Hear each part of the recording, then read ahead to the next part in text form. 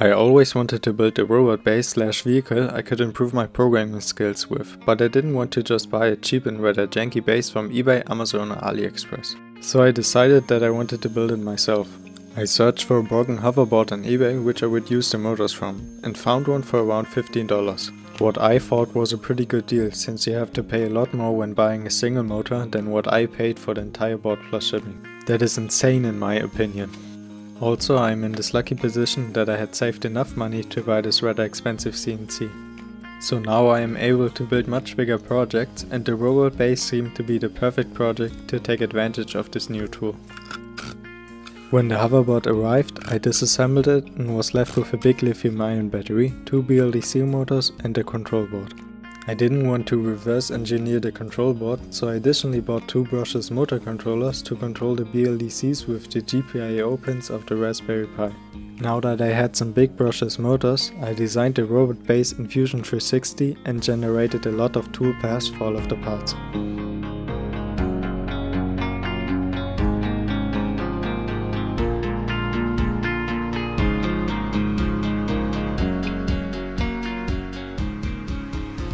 It was a lot of machining and took many hours through the course of a couple of weeks, due to the fact that I had to do it after work.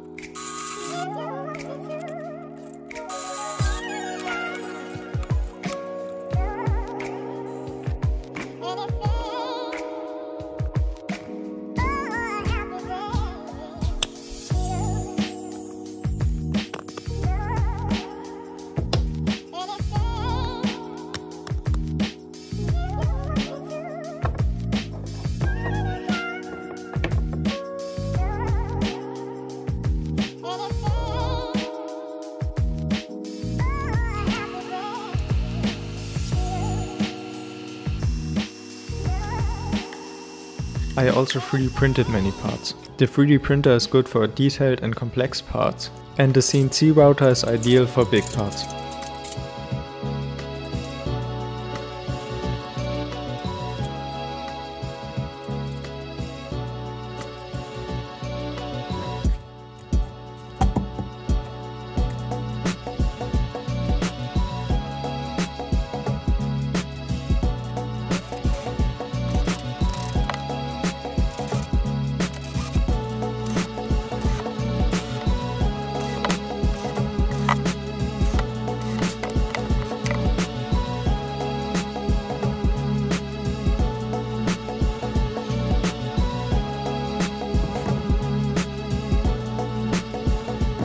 This part I printed in ABS with 90% infill. It is almost identical as the motor bracket I previously cut with my CNC, except for the fact that it has far less parts than the CNC cut one. To be more specific, it has 28 parts less, which is pretty insane.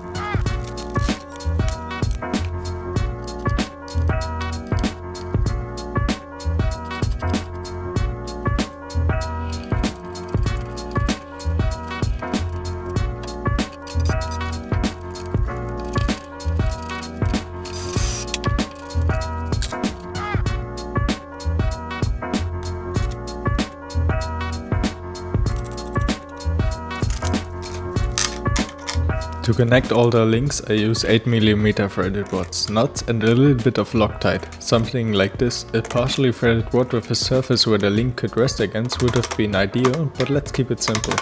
Maybe a totally different suspension design would have been better, I will keep that in mind for version 2. But for now let's finish this version and see if it works at all.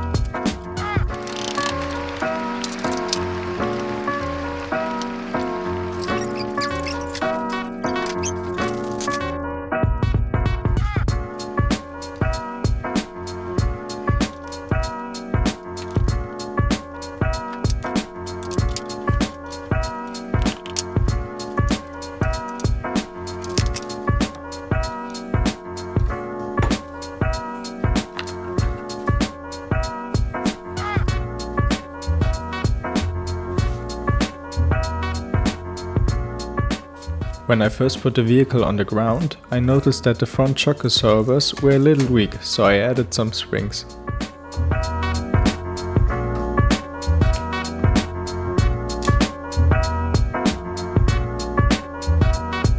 As the base was assembled, I extended the wires of the hoverboard motors and connected them as well as the Raspberry to the controller.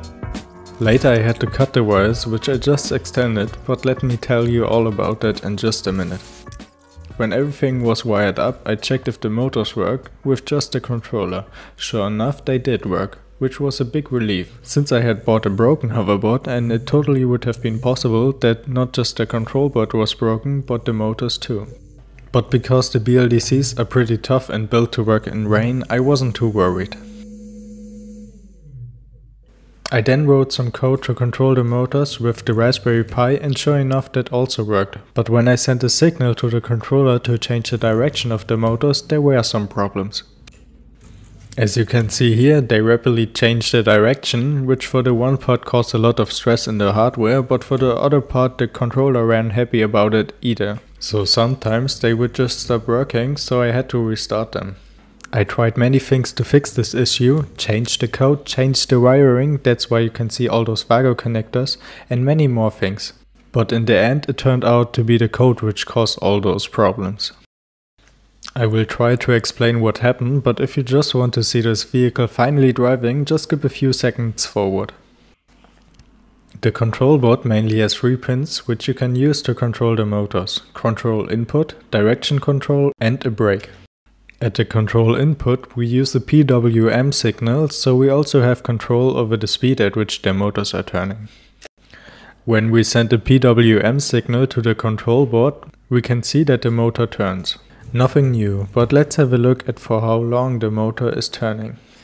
I am sending a signal which lasts 1 second, but when we run this code we can see that after 1 second the motors keep running and not just rapidly stop which in my opinion is not bad, it looks more natural. So if we want to change the direction of the motors, we cannot just send a signal for as long as the control signal. It has to stay on even after we stop sending the PWM signal. And that was the entire problem.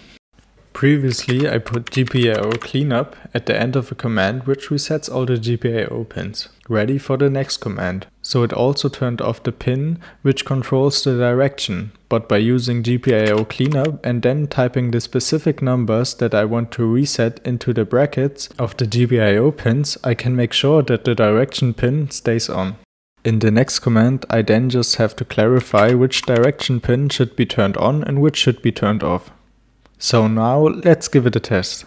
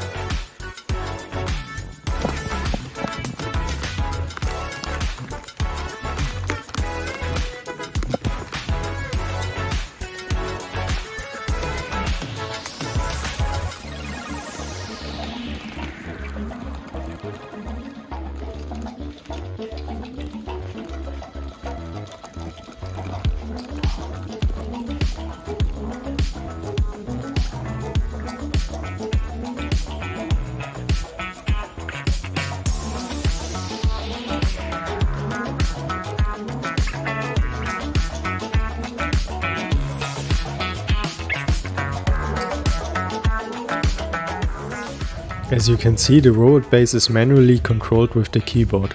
I will try to put some sensors on the vehicle so that it can drive around autonomous and actually can be considered as a robot and not just a remote controlled car. But for now I am quite happy how the vehicle turned out. The one thing that I definitely don't like about the vehicle is the steering or the not existing steering system. The vehicle steers by turning the wheels in opposite direction, but because there are just two motors, the front wheels are just rubbing on the ground, which is fine under no load, but as soon as you put some weight on the vehicle, it has a hard time turning. I hope you enjoyed the video. If so, make sure to subscribe for more. Vielen Dank fürs Zuschauen, thank you for watching.